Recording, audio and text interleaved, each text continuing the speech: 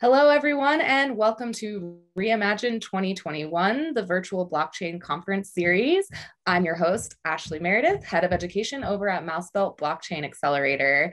And today we're bringing you version 8.0 of our series, State of the Art Chain, uh, bringing you all the latest updates and news around exciting use cases for blockchain like NFTs and gaming uh, that's bringing so many more people into the space and contributing to adoption of blockchain technology. Today, I'm here with Jon Jordan. He's a blockchain games consultant and the editor of the website blockchaingamer.biz. Welcome, Jon. How are you doing today? Yeah, good. Glad to be with you. Yeah, thank you so much for joining us. So, uh, you have been working in the gaming industry for quite a long time. Why don't you tell our viewers about your background and what made you decide to start looking into blockchain gaming? Mm, absolutely. So yes, I've been uh, in the game space now for um, over 20 years. Um, so kind of seen seen a lot of different kind of uh, tech, tech cycles, um, starting back with kind of PlayStation 2, you know, back then. Um, and uh, so I went for kind of through the cycle of kind of PC console, and then I spent um, about 15 years in mobile games. So I, I kind of co-founded a, a, mobile game website that got, got pretty big called Pocket Gamer. Um, and then I kind of spent a good kind of a you know a good period of time playing a lot of games and, and particularly writing about the business aspects of games. So particularly into sort of the finances of companies and and how they sort of make money. And in mobile, I was particularly interested about free to play. So when the free to play model came along, that was quite radical. You gave away your game for free, and and then you tried to charge kind of small or, or quite large uh, amounts of money for kind of extra things in the game, extra gems or, or things like that. Um, Those sneaky in-game purchases. Yes. Right. Yes, but but but but, uh, but as been phenomenally successful. So so mobile games is now the, the biggest single part of gaming. So so there's like PC gaming and console gaming about the same, um, kind of about 30, 40 billion dollars of revenue a year. And then there's mobile games, which is enormous, like you know 70, 80 billion dollars. Um, and that's all from free to play games. So it's very successful. Um, but then I, after a, about you know um, a certain period of time in that, I, I kind of felt I kind of you know it, I, would learned what I what I need, sort of needed to learn. Um, and I was kind of looking out, you know, uh, what's going to come next in games. So we've had the consoles, we've had, you know, um, kind of mobile getting really big, and then there were you know, obviously things got kind of VR. Everyone was kind of very excited about VR for, for, for a bit, and um, so I had a look at that, and then people got very excited about esports. So I had a look at sort of esports, and and none of them really. Um, well, I can see, you know, they're, they're very interesting. Um, they're bringing something new to games. I couldn't really see them being sort of a, a, big um, a big wave that would affect, you know, all all game makers. Um, and and I was really sort of, sort of struggling actually, actually to find something to kind of focus on. Um, and I actually went to a conference, um, and uh, at the conference they had a few talks about, about blockchain, and I didn't really know very much about blockchain. I'm a kind of vaguely someone who's into technology. I kind of kind of you know known, known a bit about it, but hadn't really seen any um, application to games. Um, and literally, it was like a I think a four hour four hour um, kind of session of various talks, and um, it was li- literally that kind of moment where you're sitting down in a conference room and like a light bulb goes off in your brain and it's like, whoa, okay, I understand what this is now. This is this is like a you know a new way of, of kind of creating games and, and a new business mechanic for games and, and it's going to really you know I, I, I felt then and, and still do really going to kind of revolutionize the way games are made the way games are played the communities around games you know basically everything and I, I don't think obviously at the time I realized sort of uh, quite the significance of, of, of what, of what blockchain is going to do for games. I mean, that, that's only kind of deepened, I think, as I spent the last kind of kind of three years, um, you know, really engrossed in it. Um, but but it's still that sort of passion that, um, you know, I, I, I can't say exactly when it's going to take off, but I can't see that in ten years' time it won't have taken off at some point. You know, if, if that's if that makes sense. So it, it's not a it's it's not a if it's it's a when kind of kind of thing for me. Absolutely. So, for someone who has been tuned into the world of gaming for so long, um, I think it's interesting for our viewers to kind of understand what there's obviously been so many technological advances in gaming, uh, the actual gaming experience, but it seems like the other thing that has really revolutionized gaming is how companies are monetizing. Um, so, could you give us just a snapshot of what some of the biggest advancements you've seen happen in gaming and why you think blockchain is up there with some of those like really big revolutions in mm. in gaming absolutely so i think you know i, I would say um, sort of the, the, first um, kind of way that kind of game game started out uh, and, and, obviously still exists is is basically someone someone makes a game it is sort of a um, a, a, finite bit of uh, kind of entertainment. Obviously, it may have multiplayer, all that kind of things, but it's basically sort of a sort of a thing, um, and it costs a certain sum of money. Let's say kind of fifty dollars, and people go, "Oh, that game sounds really interesting. I buy, spend fifty dollars on it. Um, I get the entertainment, um, and and then I play it. Sort of sort of a, a one a one you know a one payment sort of model. Obviously, there's kind of variants on that. There's kind of subscription models, and, and I guess all games now are sort of what we call games as a service. They're always being updated, um, really. Um, but but fundamentally, there's this kind of idea that you sort of pay pay once and you get the get the game, and I kind of think that's still where most of the sort of hardcore gamers sort of are. That's kind of what you know. They like to know they've paid their money. They're, they're not going to be nickel and dime for all these other things. You know, hardcore gamers don't like that. Um, but then mobile came along and free to play, and it was it was a combination of two things. One, it was because we had we did have free to play before, so PC games, particularly in Asia, in places like China, um, where you have a lot of piracy, um, and and you couldn't charge fifty dollars for a game. They basically kind of created free to play, so you got got the game for free, and then you paid extra for things in the game. That was like an anti-piracy model. Um, that's how it started out, but it never got very big um, until mobile came in. And obviously, the thing with mobile, it came in with app stores, so suddenly you had at that point tens of millions of people, then quickly hundred, hundreds of millions of people, and now whatever it is, 2.5 billion people in the world have a smartphone connected to either you know uh, Google Play Store or the, or the, Apple App Store, can download content um, and and have some sort of payment mechanic connected to to that game through the App Store. So suddenly you have this massive explosion in accessibility. So every, pretty much everyone in the world, not well, okay, half the world can now play a mobile game. Um, but obviously, half the world is not going to spend even like five dollars or even a dollar um, upfront to, to experience a, a, game. So you have to give it away to them free, and then the ones who want to pay or can pay can you know um, can can do so. And that's that's where we see kind of free to play mobile becoming so big. Um, so the thing that I, I, I kind of worked out or have worked out over the years is, is how's blockchain going to change that? Because in some ways, um, you know, it's much more complicated. you know, we're not going to see two billion people interacting with, with blockchains um, anytime soon. Um, but I think what we have seen already in the last kind of three years, I've seen is is is the way game blockchain, uh, the way that games that are using blockchain, and there's many different ways in which games can use blockchain. Um, but the, the only that, that, those games can only be successful really if the community is also um, kind of kind of having its share of the kind of value success of, of that game. So we can take an example like Fortnite. Fortnite, you know, one of the most successful games um, over the last kind of few years. You know, Epic Games have, have generated billions of dollars of revenue, basically people paying them for content in the game. Um, and while those people have had billions of dollars worth of entertainment, clearly, because Fortnite is a great experience and it's very social, you can bring your friends in and we'll have a great time. Um, no, no one legally has has you know uh, been, been, been able to sort of trade things in Fortnite or or basically have a great character with all the gear and then sell that to, to another player. I mean, people do sell their accounts, but that's illegal. Um, and blockchain, I think for me is is is a way of, and it's not purely about um, people making money, but I think it is. We all know people are prepared to spend money on games and prepared to spend, you know, thousands of hours or you know whatever many hours um, in games because they enjoy the experience, um, and to a degree they are then kind of uh, helping that that game build a community, build, build a you know a good community hopefully, become an enjoyable experience, and a blockchain will allow that users to, to take a share of that. Um, so in, in going back to like a, like a Fortnite comparison, which we all tend to end up with a kind of a Fortnite comparison, is you know if that was was happening on a, on a blockchain, then um, the play the players if they own some of the characters there and they could kind of resell them in a marketplace, the the developer would, would obviously make money because they they create the IP, they're the one who's kind of in, in control of it. But to a degree, and I think over time this will become more so, the community will have a, a larger say in what goes on in the game.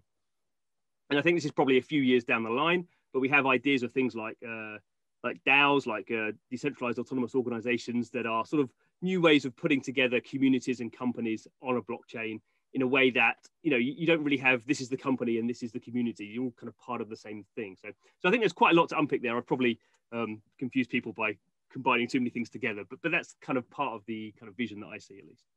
No yeah I, I find that so interesting. I think that especially younger generations and just people nowadays are starting to wake up to the fact that we are the consumers are the reason why these companies are making money. Uh, they're making money off of our ad views. Uh, they're making money off of our data, and we should be a part of that and and you know receive dividends, right? Um, that you know we have things like Brave browser where now I can get paid if I'm willing to watch ads, um, if I spend hours on a game and and and especially like a multi-massive you know a role playing game with lots of people like it takes that community to even make that game fun. So they should be rewarded. Uh, for anyone who's just tuning in uh, to our reimagine 2021 conference series uh, just want to point you to our youtube channel. You know go over there smash that subscribe button. We have a lot of great interviews uh, one of them I would recommend people check out is uh, with Brock Pierce. So he mm-hmm. had, you know, in l- learning from him and how he got into the industry, it seems like people in gaming are uniquely poised to understand something like cryptocurrency or NFTs or these kind of digitized assets. So in his early days, you know, World of Warcraft, people were mining digital gold, right, to be able to buy in-game assets. And he just found that uh, that community was uniquely primed to accept something like cryptocurrencies. Uh, do you have any thoughts or opinions on that as someone in the gaming industry? Hmm. No, I think I think it absolutely is the case. So, um, particularly for these big uh, MMO RPGs, World of Warcraft being probably the biggest one, but also kind of Diablo 2 was a, I mean, that wasn't an MMO, but but uh, another big sort of PC game. And and and and I think it's I think it's interesting that 10 years ago you know those games were sort of created or more than 10 years ago now. And and, and the big problem they sort of had was um, because they didn't have you know because blockchain technology hadn't you know did, hadn't been even kind of you know sort of invented is the wrong word but you know hadn't been kind of thought of and hadn't been um, certainly deployed that, that basically what people were doing were, were mining all these in-game currencies these, these, this kind of gold and then illegally selling it on to people um, so there wasn't a way of building kind of a, a marketplace that allowed people to do that in an official manner. I mean, one of the things Brock was trying to do was was, was sort of to do that. Um, didn't quite didn't kind of work out. But uh, um, but the other thing was, you know, the obviously with, with a blockchain, you get around sort of this idea of sort of sort of double spending. So so kind of um, having having an asset that is kind of decentralized but but controlled in terms of the spending and certainly in, terms of something like Bitcoin, obviously, is, there's a fixed amount out there. I mean, different blockchains have sort of different approaches to that. So, um, not necessarily all of them have the same idea. But the problem you have with something like World of Warcraft, certainly over time, is inflation. That just the more people play, the more and the longer they play, the more my, gold that's mined, then the, the more devalued gold becomes over this. So they often have they have this kind of economic problem that they have to keep adding higher and higher and more expensive items to soak up all the all the gold. Otherwise, the gold really becomes uh, valueless. So. Um, I think kind of fundamentally blockchains do um, kind of solve some of these problems. Now they definitely create a lot of problems as well. So I'd be the first to say I think I think blockchains solve some of the fundamental problems. Um, so I think that's that's sort of why I'm um, bullish on on blockchains and gaming. Um, I, I the, over the last kind of couple of years, I think we have sort of seen they throw up some some other problems, which are not significant problems. I don't think they're more problems about kind of user experience, so at the moment, it's still a big issue. How do you, how do you get people into a blockchain game in a way that they sort of understand, um, you know, what it is? We've seen different approaches to that. Um, we obviously have ideas, different kind of, I guess, kind of um, philosophies about whether things should be custodial or non-custodial, and probably, you know, some of the audits, you know, don't even understand what that means in the first place. Um, so we have. Yeah. Well, let me let me let me slow you down then yeah. there and kind of tease out because right now we're kind of in this NFT boom. Mm-hmm. New people are coming into the space, artists, celebrities. Uh, everyone's really excited about these applications of blockchain, um, but there are downsides, right? And with different kinds of protocols you use, you're always sacrificing security for more privacy or whatever it may be. So, what are some of the challenges for game developers using blockchain? Like you said, um, the user needs to understand. Uh, it needs to be presented in, to them in a way that they understand. But my question would be like does the game player even need to know that blockchain is being utilized or do they just need to know the value proposition that mm. they're earning money on their game mm. yeah exactly. So um, i definitely see sort of two broad camps really. Um, and and sort of up to this point broadly we've seen the people who are trying to make blockchain games or games using the blockchain.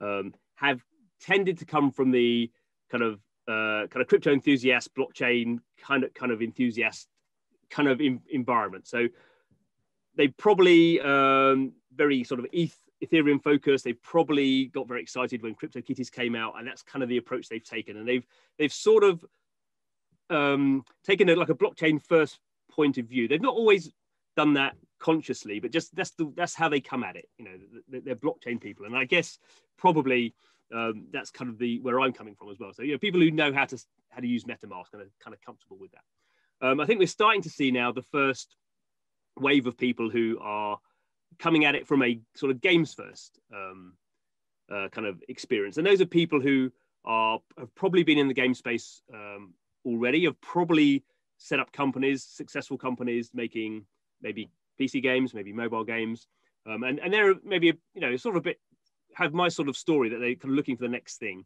um, and have come to blockchain. And they are they, they, kind of realize much more you know kind of kind of you know what you just said there that the audience really doesn't care what technology these things are operating on.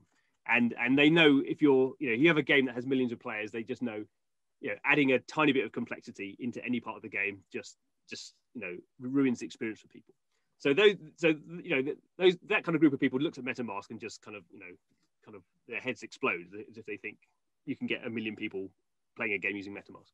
So I think we're starting to see um, a much more kind of pared back approach there. I mean, the best example is a game called Blankos Block Party, um, which is in open beta. It's a PC game. Now, the, the, the, team behind that have come from companies like Blizzard and Activision. So they've run some pretty, you know, serious mass market games. And and they don't even use the term blockchain. I think if you can look through all their marketing, you will probably probably you know find it hard to find the term blockchain. Um, and and and and because of that, they, they've sort of created their own blockchain. It's, it's a private, it's a kind of custom version of, of the EOS blockchain. If people care about that sort of stuff, at the moment, it's it's kind of um, you know you can't you don't have your private keys. You know, probably going again getting too complex already, but but basically you, you log in with an email and a password, and if you want to buy some of these characters, they're NFTs in the game called Blankos. They're kind of cute little vinyl characters. Um, you just buy them um, with, with, a credit card. Now they're going to open up the blockchain side of it increasingly over time. So if, if, you're happy owning things in a private wallet, you can sort of do that. But but at the moment they're, they're just like you know they're very serious. They want a million players, and they realize that the the only way to do that is basically to make it you know you know um, what's the word? Uh, make it kind of exactly the same as playing a PC game, any other PC game. So you have an email and a password. If you lose your password, you email support and say, I've lost my password. And they don't go, well, it's a MetaMask. No one can know your password. You've lost all your stuff, sucker. You know. so, so I think we're starting to starting to see those kind of people coming in, and and people are people I know as well, more generally in the in the game space, who haven't really been into blockchain, um, and now starting to go, partly from what you say, this kind of NFT boom. They're starting to say, um, so, so what are blockchain games? What, what should I be looking at? So I, I, think we're starting to see, you know, this kind of inflection point, not necessarily in terms of take up from players, but in terms of take of the industry, the games industry starting to become a bit more open. Because previously I found the games industry has actually been quite indifferent or, or, or actually quite negative to blockchain um, for reasons I'm not entirely sure about. Yeah. So uh, to speak to that point, um, you have a blog um, that is uh, where can people find your blog? Well yes i have a, i've just started a, a substack. So it's called uh, games games tx uh, on on substack which is like a yeah kind of a weekly sort of sort of um, kind of you know, my my views on, on what's going on with, with blockchain games yeah. Yeah, that's great. So anyone tuning in who is interested in learning more or, or following Jon um, as he covers different things that are coming up in the blockchain gaming industry. It's gamestx.substack.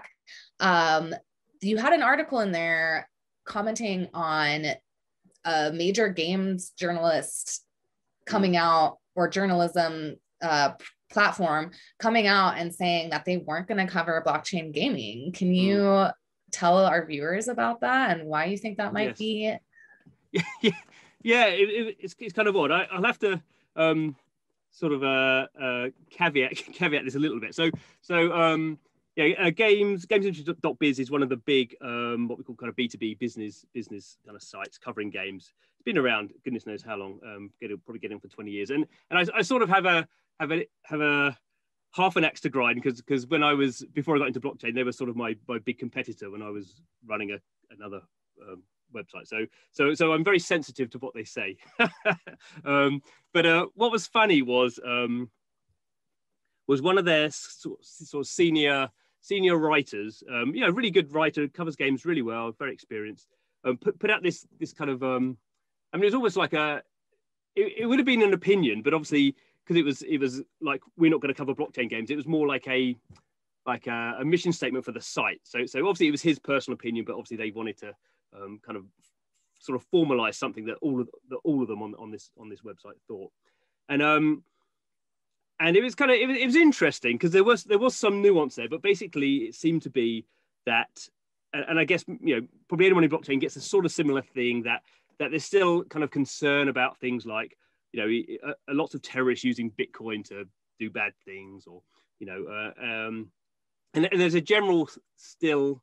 Um, you know, I guess concern, and to some degree, you know, rightly when you when you take away all the gatekeepers, when something is decentralized, then then you know potentially um, you know, bad bad things can happen. Um, but it was a bit odd. I felt from a, from a games kind of company, a, a games um, kind of a media site, which is you know, games in general is very forward and looking at te- technology all the time. And, and, you know, there's never, I don't think there's ever been a bit of technology created over the last 50 years that someone hasn't tried to make a game with it. You know, just game people just love, sort of love technology. Um, they put out this statement saying they weren't going to cover blockchain and they, they thought it was a bit, all a bit shady. Um, and it, it kind of got worse than that. So they they kind of had this like moral case. Um, it wasn't quite clear how they made that. It, um, I think that they, they kind of said, well, we don't we don't cover. There's quite a lot of kind of gambling games in mobile, and they kind of said, well, we don't cover these gambling games. Um, we don't feel that's kind of kind of right. And we, we kind of we put yeah they kind of equivocated kind of blockchain with, with, with that, and they just kind of didn't feel right morally about it. Um, and they really hoped blockchain games um, wouldn't be wouldn't be successful. So that that was more the, the odd statement that they they not that they wouldn't weren't going to cover it. I could sort of understand that, but they weren't going to cover it because morally they kind of felt it was in some way um, kind of kind of morally wrong. Um, but then they had the caveat at the bottom saying, but of course, if if if big companies like Ubisoft, um, uh, who are who are quite interested in blockchain, if big companies like Ubisoft are, are talking about blockchain, then then obviously we'll cover that. So you kind of like, well, you got to you having your cake and eating it. You know, you kind of have to choose choose one thing or the other. Um, but obviously, that was that was more my personal decision. I thought that was funny because I'm so into blockchain games. That's pretty much all I do these days. So I thought it was funny from that point of view. But uh, I also felt from uh, having been ed- editor of a website, you're when you put that statement up, you know, when you put the flag up the flagpole, you immediately, you know, open yourselves up to to anytime anything about blockchain gaming um, is in the news, then people will be sort of either laughing at you or saying why didn't you cover that? Or you know you're just creating a target for, for yourself. And of course what has happened is in, in the few weeks since then um, we have had i think quite a lot of um, mainstream uh, kind of news. So there's a big a big korean uh, mobile game uh, publisher called uh, Gamevil has bought has, has um, spent about 30 billion 30 million dollars buying um, some shares in one of the big crypto exchanges in south korea um, and then a, a, a fairly large uh, VC company that just invests in games has just you know, announced last week that they were setting up a new fund, so a new fund to invest in companies, games companies, and it was only going to be blockchain games companies. So, so I just kind of felt it was for lots of different reasons. I, I kind of it kind of made me chuckle, but maybe that's maybe I'm I'm a I'm an evil person. yeah, it's definitely uh surprising for a games media company. Um, usually like you said, uh, games are always on the forefront of technology, always interested in emerging tech and very just forward thinking. So um, it, it is surprising that they would decide to opt out when there's so much exciting stuff happening. Um, before I ask you more about like what, you know, most excites you about blockchain gaming, what kind of the new newest uh, NFT stuff that's happening has been exciting for you. Um, like to hear a little bit more about your background in journalism. How did you get started doing that? And uh, do you have any advice for students tuning in who might be interested in writing, interested in games, and is thinking about, you know, focusing those talents into the blockchain industry? Mm, mm. Um, yes, I'll, I'll, do, my best. Um, so, I, I, guess the uh, my experience of, of, games journalism is is that um, the people I know best do, do, not do not have very encouraging um, kind of stories to tell about how they got into games journalism. Um, so, um, but uh, uh, my one kind of falls into that context. So, um, I guess how will I start? So, I was um, really into journalism. So, I did I did uh, as a student. We had a, a student magazine. So, I did um, journalism there. I was actually doing engineering. So, um, I'm not a journalism student, but kind of into, interested in technology. So, I guess that's the kind of two things.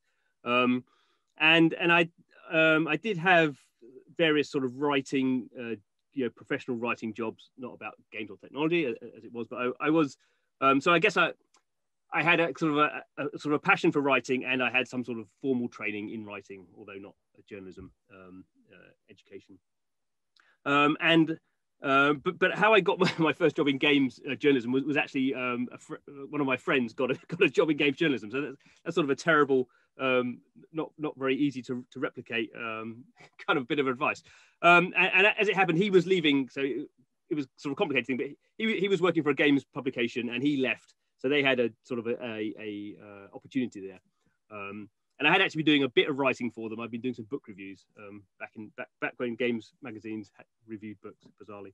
Um, so I had a sort of foot in the door there. Um, uh, more generally, if people are interested in games journalism, I would um, I would say um, be careful what you wish for.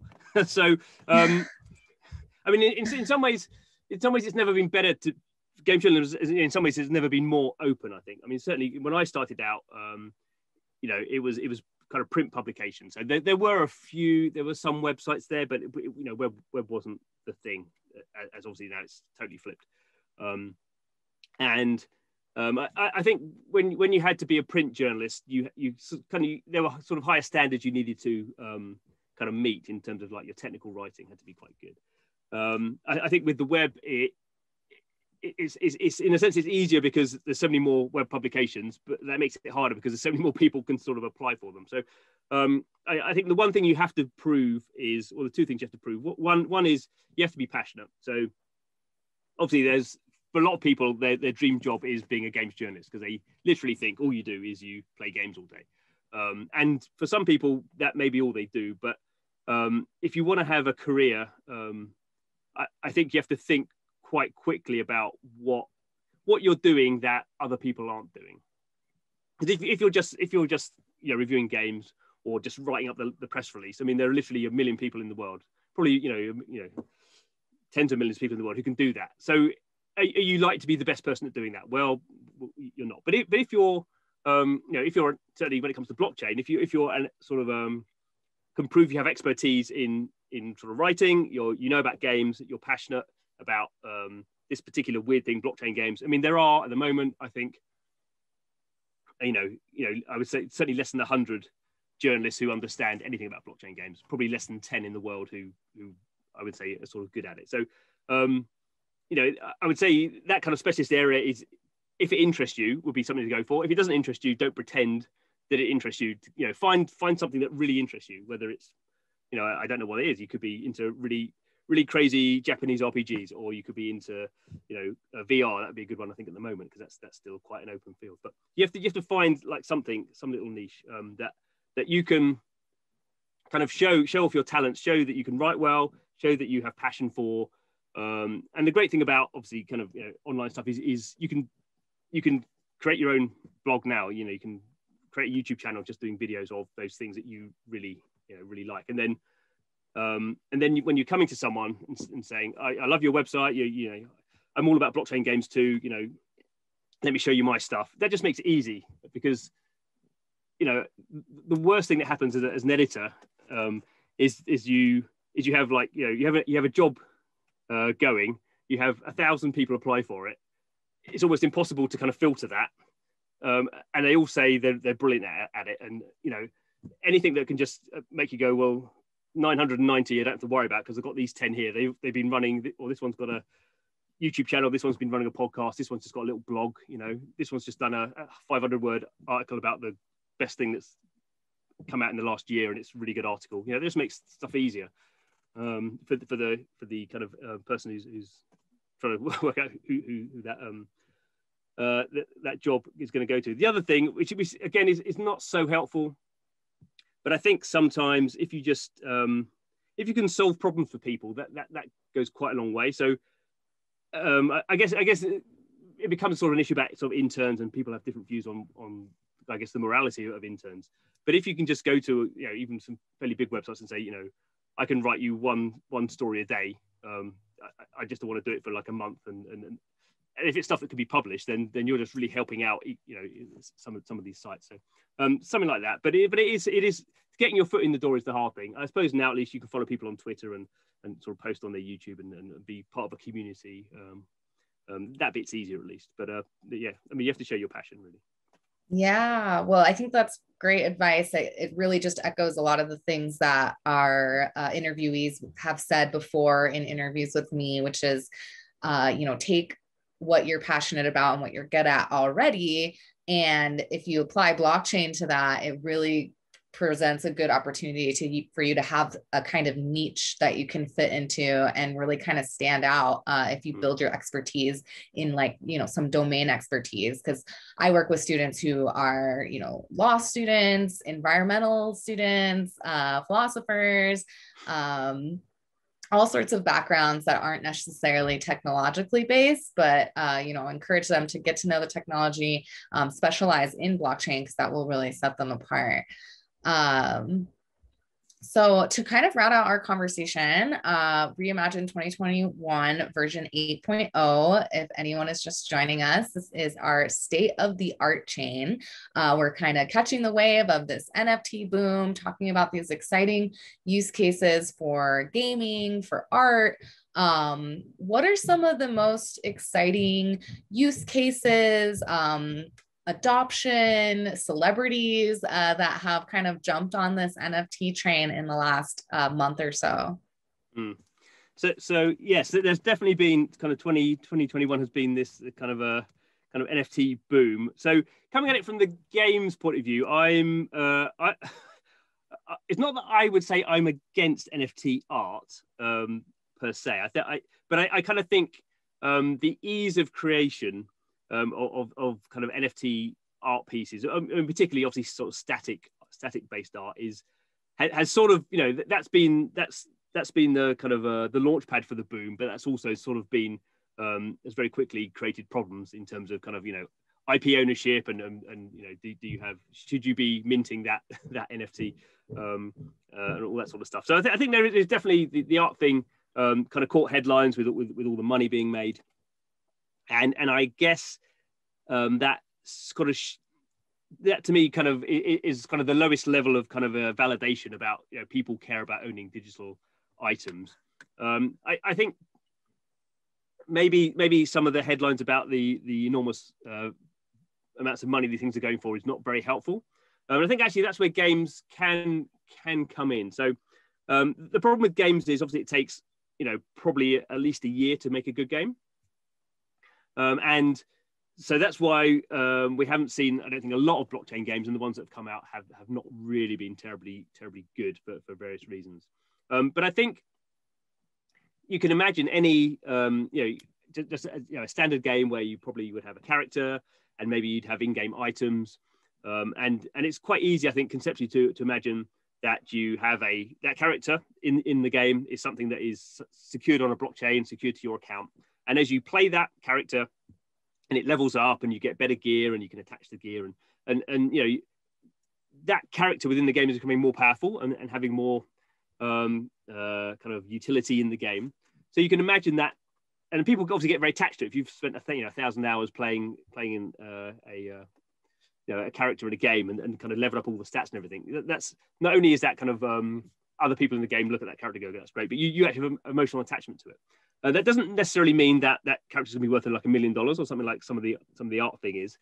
Um, and I think one of the things we haven't really seen yet in blockchain games is how how we kind of combine this idea of kind of value, which is kind of personal emotional value and financial value. Because obviously, the thing about a blockchain is there is always value attached to every transaction. I mean, that's that's sort of the the inherent thing of a blockchain. Um, so the good thing I think with with games is um, at the beginning you can have these very low uh, low cost items. And I think that that is something that one of the reasons that the NFT art thing has sort of the bubble sort of burst in the way it did was it, it became it, be, it was seen as kind of exploitative and like you know you, you couldn't you couldn't get into into that kind of scene. I mean, maybe something like kind of CryptoPunks now. You know, CryptoPunks were given away, well, it was three and a half years ago, and now the cheapest one's thirty thousand dollars. I mean, that, that, doesn't seem very enticing to, to, most of us.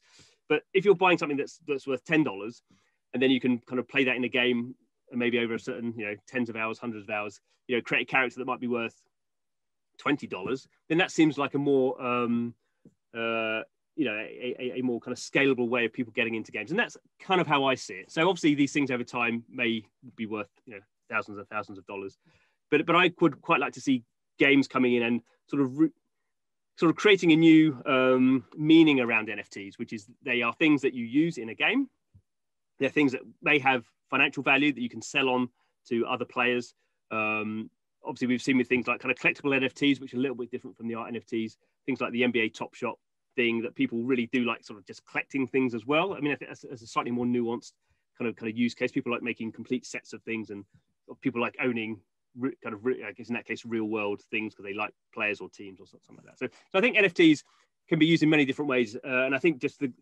games will as as as blockchain games sort of come out and gain traction and and they they will that, that will be sort of where the learning starts to come in and i think that will be the learning for the game developers but also that will feed into the whole kind of nft space that people will, will there'll be a more kind of nuance it won't just be this nft is worth this amount of money which is i kind of think where we still are at the moment which is which is fine if you own these expensive nfts but but yeah. for the rest of us is is is, is yeah i think can be off-putting and i think that sometimes that's where the negative the negativity about nfts comes along um, because it's seen as well that, that that that's just kind of that's invented money um, and people get very um, I mean, there is a sort of uh, a good way for people to launder money. I've heard that one. Yeah, and I think, I, like, think, I think some of these things don't. Someone's moving crypto around. yeah, and there is this kind of kind of idea that yeah, you can you know if you have a lot of crypto, you can just buy your buy your own NFT, and suddenly you've still got your crypto, and you created this thing that's worth a lot of money. I mean, I don't I don't know how much of that goes on. Um, but, but I just think games games you know is is, is more open, and, and I think what's interesting is as well that for some of the games we know have been announced and are coming out, um, you know, they are not necessarily kind of super hardcore games. You know, there's a game called um, Stargirls. Actually, actually, it's an existing mobile franchise that they're. I don't know how they're going to do it. I'm not seeing any detail, but that's a game, you know, like a sort of dressing up style customization game that appeals to kind of um, kind of young teen uh, kind of girls. So so there's kind of weird, you know interesting experiences you wouldn't think were coming to blockchain, and I think kind of we're seeing that with some of the fandom type stuff. So like Dr. Seuss NFTs are coming to to blockchain. Now that, that's not a game, but that's you know Dr. Seuss. That's not the first. That's not immediately what I think of when I think what's going to come to blockchain. So I, I kind of think this year we will see um, uh, you know, a, a broadening um, of of the type of NFTs coming, and I think that will be um, good, and and that, that will that will sort of you know once you have proper mass market IP, then sort of the you know, the kind of mass market will follow that as long as you're not asking them to install MetaMask.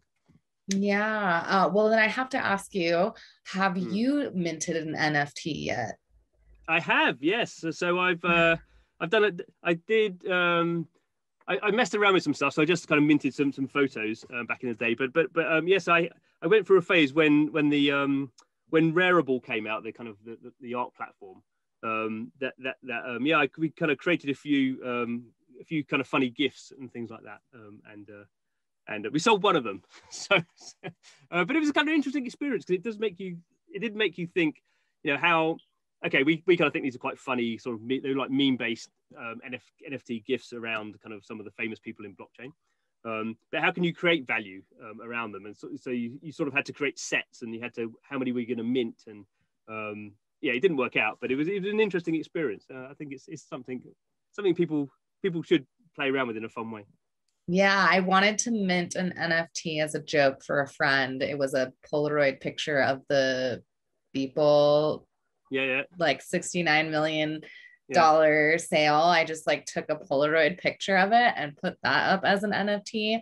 And I was gonna do it on like OpenSea or Rarible. And you know, with the Ethereum gas fees these days, I think yes. with this NFT boom, it's really pushing people to look at other platforms and other uh, ways of, of uh, minting NFTs. So I actually did it on the Tezos network. Um, you know, really. Um, but if I if I wasn't already you know initiated into blockchain i would not have been able to figure out you know how to buy whatever tokens i needed of some other blockchain and write down my seed phrase and all these different things. So really looking forward to the user experience you know getting better and for artists to really take advantage of um, this new way of creating value and engaging with their fans.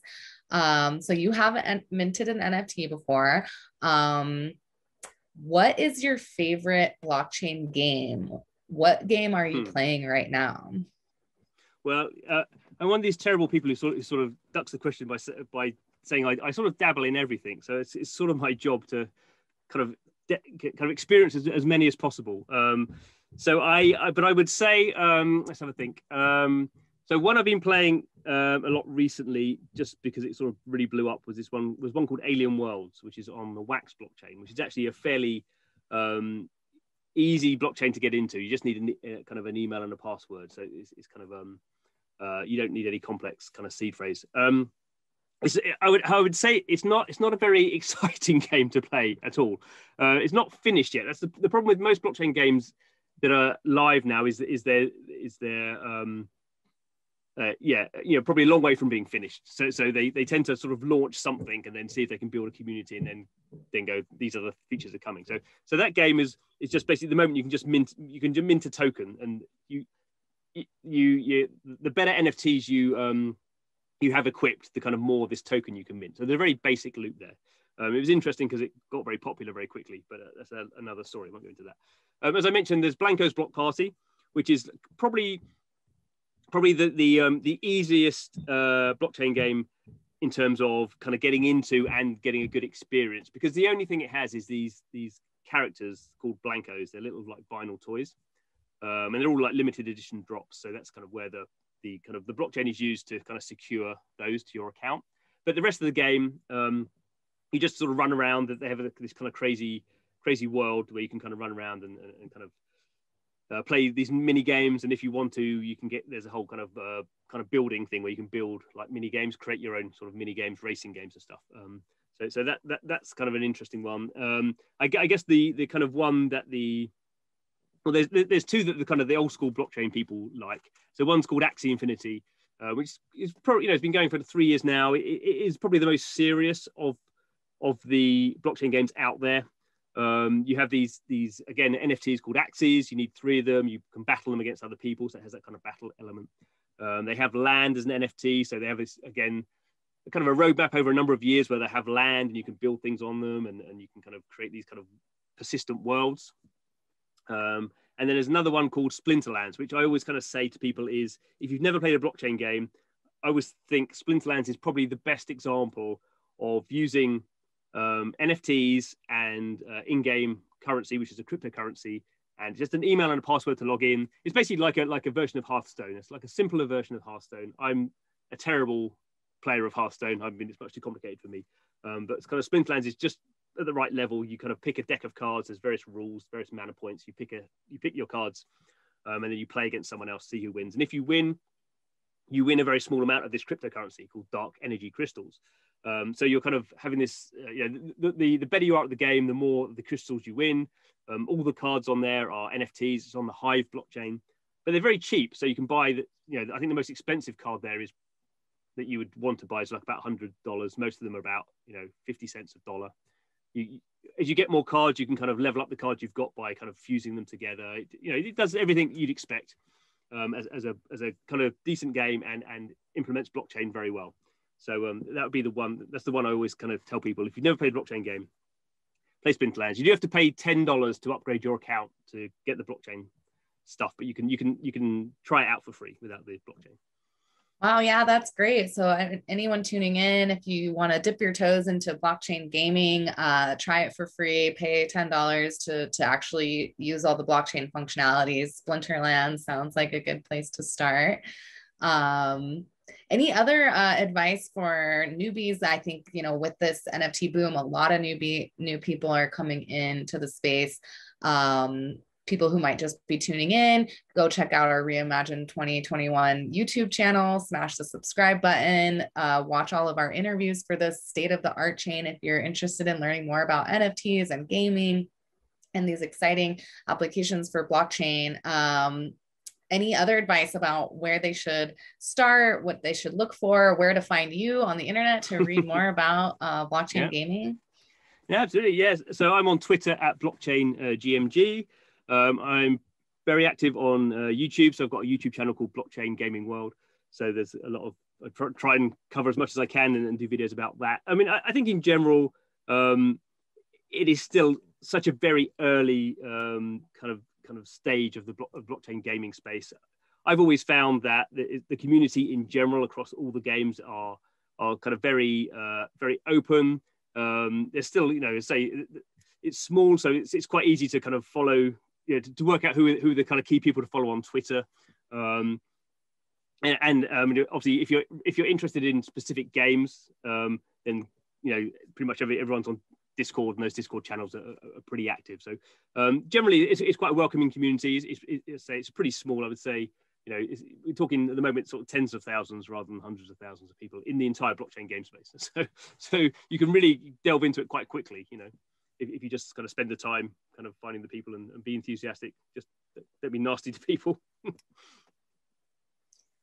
well, yeah, thank you so much for joining us. Uh, for any of you just tuning in, we've been talking with Jon Jordan. He's a blockchain games consultant and the editor of the website blockchaingamer.biz. So be sure to check out his content if you're interested in blockchain and games and stay tuned for more state of the art chain reimagine 2021 virtual conference series.